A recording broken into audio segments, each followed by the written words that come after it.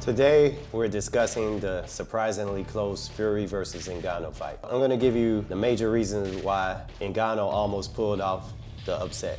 Okay, so the number one reason why Ngannou almost pulled off the upset was his, his footwork. His footwork was surprisingly good. Ngannou was able to slip and slide on and off the line. So if you ever watched any of my videos, you know that my philosophy on boxing is, boxing is the manipulation of distance and timing to control the line.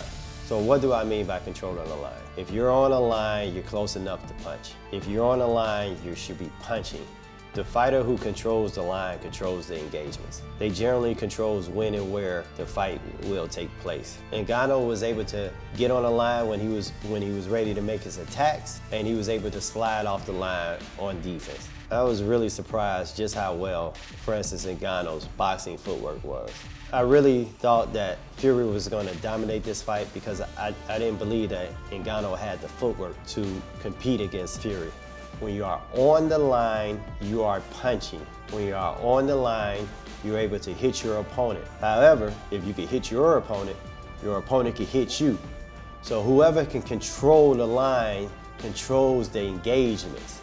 If I want to hit my opponent, I need to close the gap to get on the line where I'll be close enough to strike my opponent. If I don't want to be hit and my opponent wants to hit me, my opponent needs to get on my line. So if I don't want to be hit, I have to be able to slide off the line. There's three types of defense. There's footwork, there's blocking, and there's head movement. The most basic defense that you will see in boxing is, is footwork. So what does that mean? In order to get hit, my opponent must be close enough to hit me. So once my opponent steps in, I could just simply step back, step off the line. This is where I thought Ngannou was going to be at a huge disadvantage. I didn't believe that he was going to be able to slip on and off the line. Ngannou was able to slip on the line to make his attacks.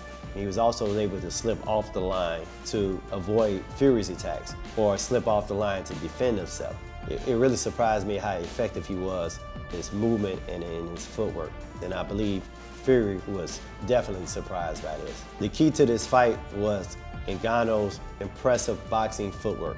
I'm not saying he was Floyd Mayweather or, or Terrence Crawford, but his footwork was adequate enough to compete in this fight.